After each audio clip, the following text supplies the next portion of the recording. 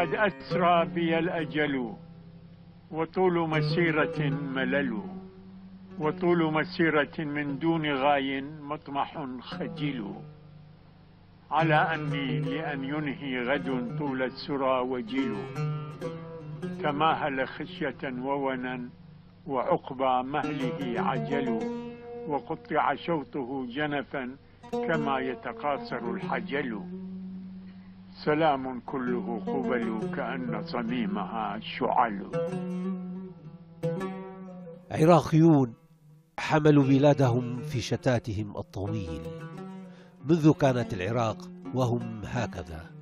منذ فجر لغتهم التي فتحت بابا أزرق لعشتار في سور بابل.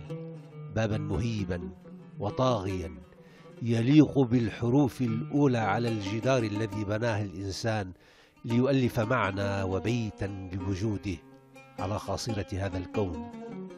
منه خرجوا بعدة كاملة ليكتبوا الأسطورة. لازم أنا استقبلك ببغداد استقبلك هون. يعني في مفارقة مرعبه والله. مأساة اي والله وأنت يمكن خلص صرت فرنسي ها؟ والله لا.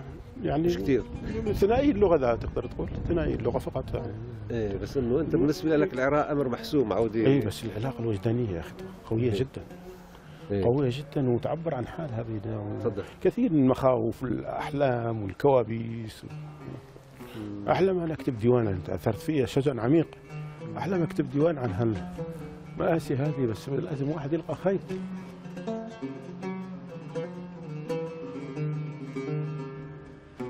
هذا المخزن. تبع بعض؟ اللوحات ها؟ هذا مخزن بعض اللوحات اللي كان المفروض يروحن إلى العراق.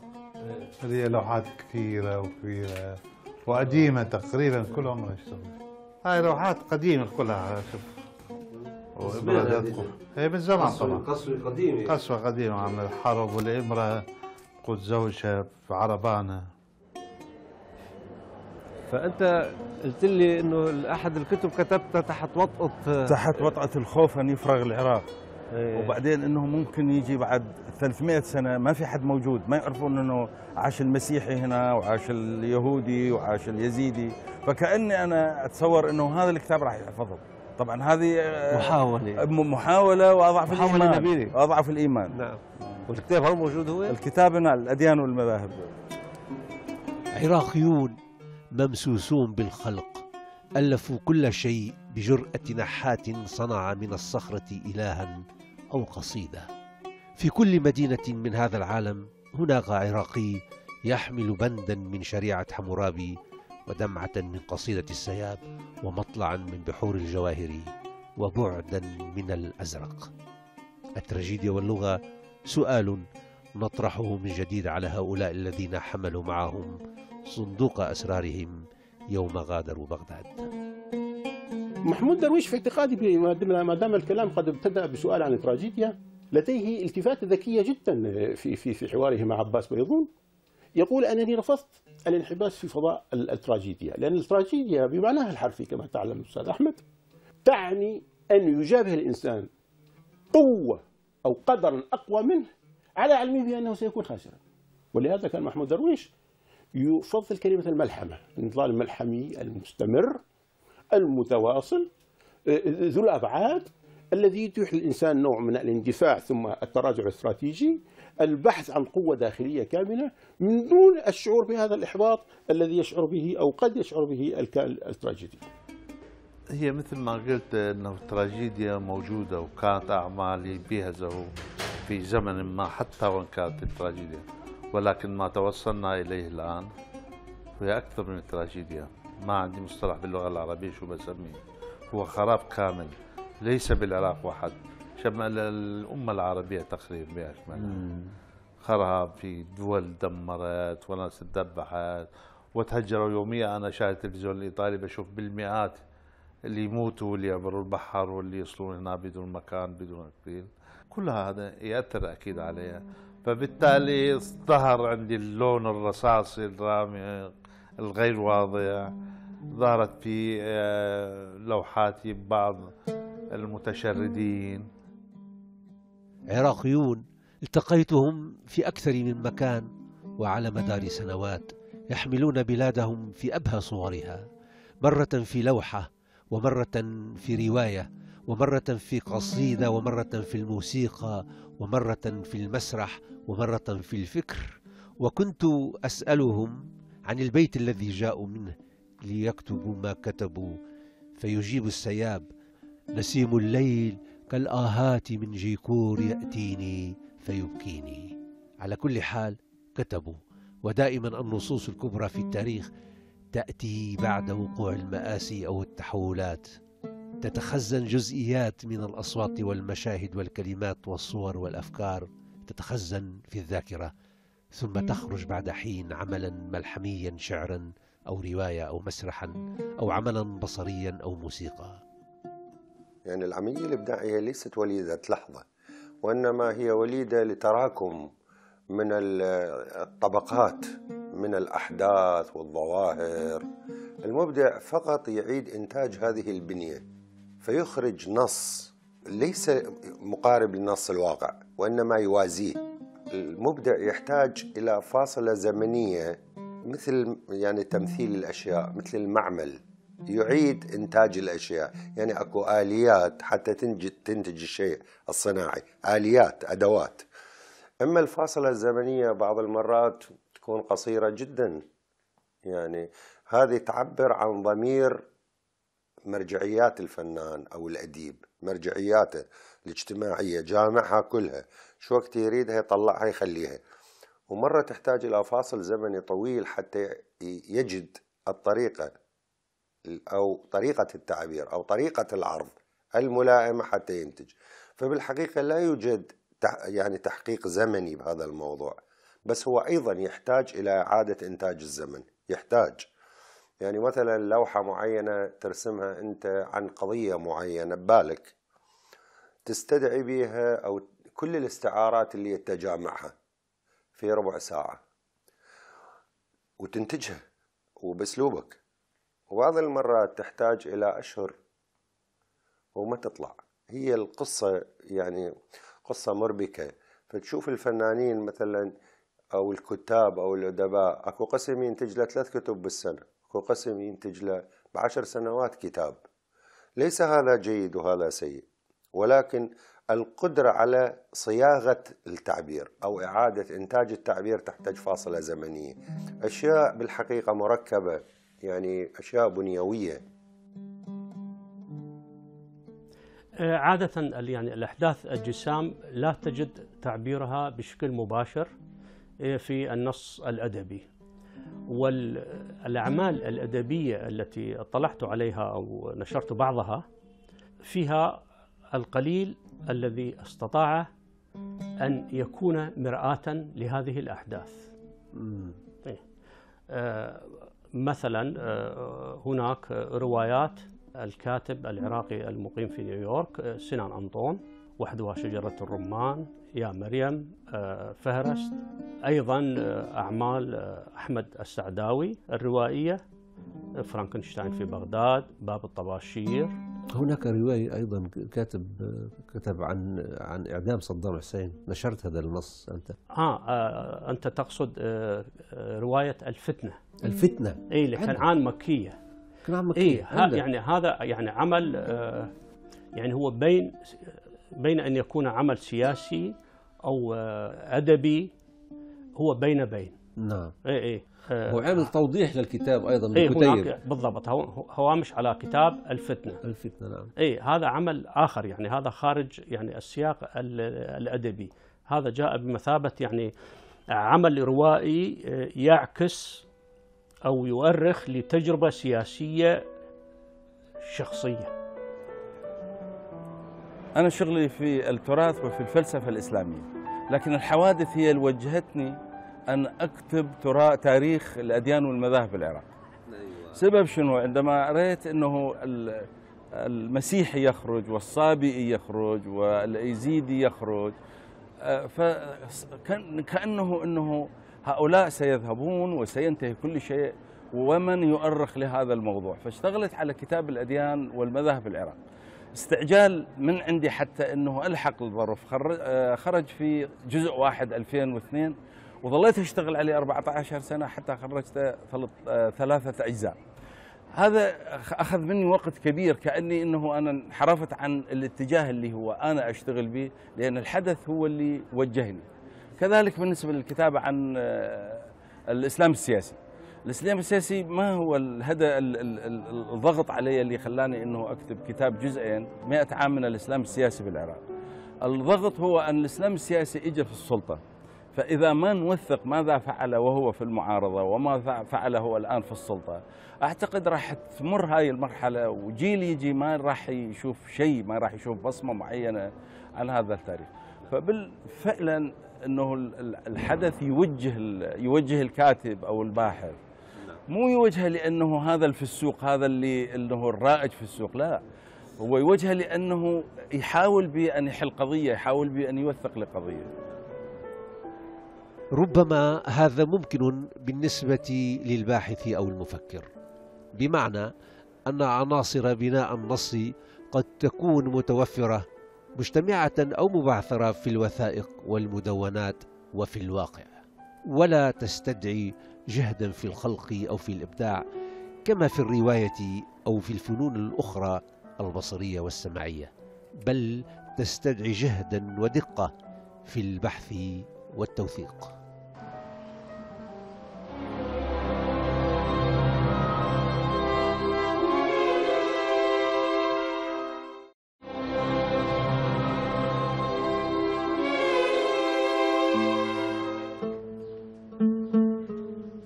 الحيرة. هذه المفردة الأكثر ترددا على ألسنة المبدعين الذين يبحثون عن مدخل للتعبير أو عن نص موازن لمآسي بلادهم وأوطانهم وشتاتهم. فهي كما مفردة العودة التي ترافق المهاجرين. البعض منهم قد يجد معادلته كي لا يصاب بالصمت والبعض يجازف بنص أو بلوحة والبعض الآخر يكتب من أجل شهادة أو تسجيل موقف تاريخي ولكن في الغالب وعلى ما يبدو يبقى النص الإبداعي مؤجلا إلى حين. كل ما اتقرب من اللوحة أحس فتهم من من الآخر من ظهري يسحبني آه، إلى الوراء. أنا مريت في مراحل انقطاع. وهذا الانقطاع يسبب عندي شيء من الم- الملل فكنت أقضيه بالسفر بلقاء بالأصدقاء بمشاهدة مدن أخرى. الآن طال هذا الانقطاع. أول مرة بحياتي طول هيك. ولد عندي بعض الأحيان شيء من ال يأس الألم الداخلي. ونتيجة اليأس اللي ما في أمل حولي. ولكن أنا ح- أحكي مع مع نفسي أحكي مع حالي أحكي مع مع خيالي أنه جبر يجب أن تكون أنت يجب أن لونك تستمتع به أنت لوحتك هي فرحك فعد إلى اللوحة أحيانا أشعر أنه هذا لمن أكتب الآن؟ من من يقرأ في هذا ال ال الاضطراب الكبير جدا اللي صوت الرصاص يعلى كل شيء ولكن بالأخير أنه أقول هذا صوت الرصاص أو غيره أو السلم لابد أن البداية تكون من القلم. القلم يوجه. فحتى أنه اللي عندنا الآن من داعش وغيره وكذا وميليشيات هذه أيضا وراء قبلها قلم كان. يعني قبلها كتابة كانت. وراها نصوص. فالنص يبقى هو الموجه. لكن طبعا أنت عليك أن لا تتصور أنه ستحصد الثمر سريعا مباشرة. هذه راد لها فترة تأثير وفترة اختمار. في أحداث الكبرى وبلد مثل العراق يشهد منذ أكثر من أربعين عاما وربما منذ نصف قرن أحداث تراجيدية متواصلة. ماذا يمكن للمثقف أو للأديب أن يقول؟ ماذا يمكن لنصه أن يفعل؟ أمام الموصل أمام حلب أمام ما حدث في الرمادي أمام ما حدث في الفلوجة أمام ما حدث في الصقلاوية أمام ما حدث في كل مكان. لا يمكن للغة ولا يمكن للغة أن تسعف من يملك أدواتها أن, أن, أن تكون بمستوى ما يحدث. ربما هناك مهارات لأشخاص معينين آه، يقدرون أن يرتقون إلى مستوى ما. لكن هل هذا المستوى يرقى إلى مستوى الألم الحقيقي الإنساني؟ يعني أي قصيدة ممكن أن أن ترقى إلى مستوى يعني ترقى بالألم وبحدة الألم إلى مستوى شظية تنغرس في في جسد طفل مثلا. اليزيديات من يمكن أن أعظم الملاحم لا يمكن أن تصف لنا أو ترتقي إلى مستوى الألم الذي تشعر به صبية يزيدية تستبى وتنتهك. وينتهك شرفها وعفتها وتباع كما تباع السلعة في سوق النخاسة وكأننا في العصور الوسطى وفي عصور الظلام. كيف يمكن للإنسان أن يتحول إلى آلة للقتل آلة وحشية إجرامية؟ وكيف لك أن تتقبل هذا أن تكون شاهدا عليه؟ هذا يقتل الإنسان من داخله يعني الإنسان الحقيقي السوي الإنسان الطبيعي غير المشوه. تقتل يقتله مثل هذا. مهما كتبنا من أدب مهما كتبنا من تحليل ونقد ودراسات لسيكولوجية الإنسان ولحركة المجتمع لا يمكن لنا أن نرتقي إلى حجم الألم الذي شعر بها هؤلاء الضحايا هؤلاء الأبرياء. نحتاج أعتقد إلى مئات السنين لكي نخفف هذا الألم لكي نحتاج إلى أجيال لكي تتطهر من هذا العار تتطهر من هذا الإحساس بالعجز. والإحساس بسلب إنسانيته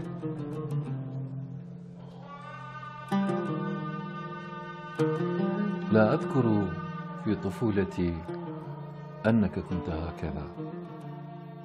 كنا نشكل وجهك في الغيم كلما وضعنا رؤوسنا في أحضان الأمهات. كل واحد منا كان يرسمك مثل ما يريد. أنا مثلا كنت أندف لك لحية بيضاء ناعمة. أحيانا أدس إصبعين في وجهك لأصنع لك عينين واسعتين. ومرة حركت إبهامي في فمك لأجعله واسعا يبتسم. أنت لم تكن تعلم ألاعبنا لكنك كنت طيبا ولينا مثل غيمة مترعة. لماذا تغيرت؟ كنت تملأ سماءنا كل شتاء بالطيور الطيور التي تجلبها من بعيد وتشكلها أسرابا عجيبة أسراب البط الأوز البجع الزرازير وحتى الغربان. أسرابا تشق الفضاء كالسهام وأخرى ترقص فوقنا رقصتها الدائرية. فماذا دهاك؟ لتجعل سماءنا مغبرة رصاصية وممحلة هكذا. أيعقل أنك لم تعد تحبنا؟ أو أن قلبك الذي عجناه من الغيم أصبح أسود لفرط الدخان؟ أنت الذي غسلت رؤوسنا السود بالمطر كيف ارتضيت لنا أن نسبح بالدم كل نهار ومساء؟ ما زلت أذكر مكرك وأنت تعلمنا لعبة الاختفاء من أصحابنا. في أماكن لا تخطر على بال أحدهم لكنني الآن لا أعرف كيف أصبحت تدل القتلة علينا. ولا أعرف كيف جعلت أبناءنا يقتل بعضهم بعضا. هل يعقل أن ثمة وشاة ملأوا قلبك بالضغينة علينا؟ وإلا ماذا فعلنا لتفعل كل هذا بنا؟ نعم. مسألة آه، الأدب الذي يجب أن يتصدى لهذا الواقع والذي يجب أن يقدم صيغة جديدة. هو في الحقيقة سؤال أساسي وضروري. وهذا الأدب مأمول طبعا لأنه لا يمكن أن تحدث الأمور بخلاف ذلك. يعني الحروب الكبرى بما فيها الحربان العالميتان أنتجت أدبا واسعا لكن مع شيء من الصبر ما زال حتى الآن يكتب عن الحرب العالمية الثانية وحتى الأولى. وحتى حروب نابليون ما زالت تغذي ذا إلهام الكتاب والأدباء لأنه التجارب الكبرى تتغلغل في اللاوعي وفي الوعي الثقافي الإنساني بحيث تصبح أسئلة دائمة أسئلة لا يمكن تجاوزها ولا يمكن القضاء عليها يعني قصدي إشباعها بحثا وتصويرا في حقبتها نفسها. قصدي أن تناول الواقع خاصة عندما يكون بمثل هذه الظلامية بمثل هذه السداوية. إذا أمكن استلهام الدروس الكبرى مثلا درس دانتي في كتابه كتابه للكوميديا الإلهية الكثير يعتبرونه عملا خياليا كتبه شاعر آه، رحل إلى العالم الآخر سافر قام بمعراج إلى العالم الآخر آه، حتى يقال يلقي حبيبته وفي الحقيقة عندما تقرأ العمل آه، هو درس في التاريخ. لأن كل الأفراد الذين يقابلهم دانتي سواء في الجحيم أو في المطهر أو في الفردوس يحاورهم على مسائل تاريخية دقيقة ومشخصة. وهو أيضا نوع من البحث الشعري في المنفى. وحتى نتفادى المباشرة التي أشرت عليها كخطر يواجه الأدب الذي يتفضل الواقع أعتقد أن المسألة تنحصر في نقطتين. أولا التناول الجمالي للتجربة لأنه بدون تجربة جمالية في اللغة وفي الشكل سواء كان في الرواية أو في الشعر لا يمكن تعميق هذه التجربة. يعني أتذكر حوارا مع الكاتب الإيرلندي العظيم صامويل بيكيت. عندما قرأ نص جان جيني 24 ساعة في صبرا وشاتيلة أو 24 ساعة في شاتيلة قال هذا هو الأدب.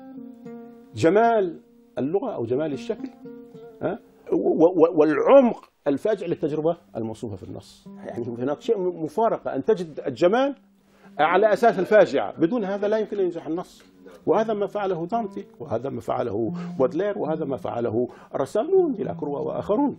إذا مسألة الجمالية هذه مسألة أساسية. الشيء الثاني في اعتقادي هو وعي المأساة. يعني, يعني عندما يقرأ القارئ كتابا في تجربة تاريخية أو تجربة مأساوية. ينبغي أن يمسك بفضل الكتاب بفضل الكاتب ينبغي أن يمسك بمفاتيحها بمفاتيحها عفوا كلها. لا يكفي أن نغني غناء فاجعا أو نشيدا جنائزيا على الأموات. ينبغي أن نفهم ما حدث. ينبغي أن نقدم لا بلغة التحليل لأن هذه مهمة الفكر وأما بلغة الفن نفسه مفاتيح هذه التجربة. كل ناشر يعني آه، آه، هو شخص حالم. يحلم بالكتاب آه، الأساسي بالمخطوطة. لكن علينا لا نكون يعني مثاليين كثيرا. فالكتاب المنتظر ربما هو مجموعة الكتب التي نشرت عن العراق الحالي أو عن الأحداث الجسام كما ذكرت قبل قليل و يعني الكتب المنشورة الحالية والكتب التي ستأتي نعم, نعم. فكل كتاب هو آه، آه، يغطي صفحة ما نعم. أو يعبر عن آه، لحظة ما نعم. ومجموع هذه اللحظات هي الحياة العراقية التراجيدية المعاشة كلام كثير وغزير وموجع ودال كلام نهر كدجلة وبعيد كزمن سومري. تسمعه في كل مكان تلتقي فيه عراقيا يحمل قلما أو ريشة أو وترا أو ازميلا أو كتابا أو مهاجرا لا يحمل شيئا سوى البلاد. كلام لم نسمعه بعد قد يأتي في سلسلة أخرى. فالذين التقيتهم في هذه الرباعية هم تآلف الممكن من أصوات كثيرة موزعة في مدن هذا العالم.